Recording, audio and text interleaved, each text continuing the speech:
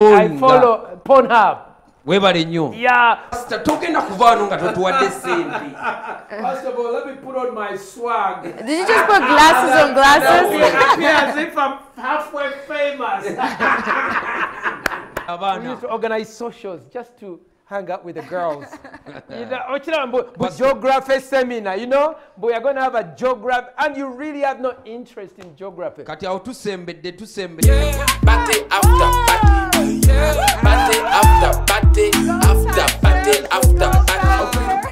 have the greatest sex in the world. Go, baby. And uh, people in uh, the subculture of the LGBT, especially gays, men who have sex with men, when they do look at research, it has more HIV AIDS than heterosexual people.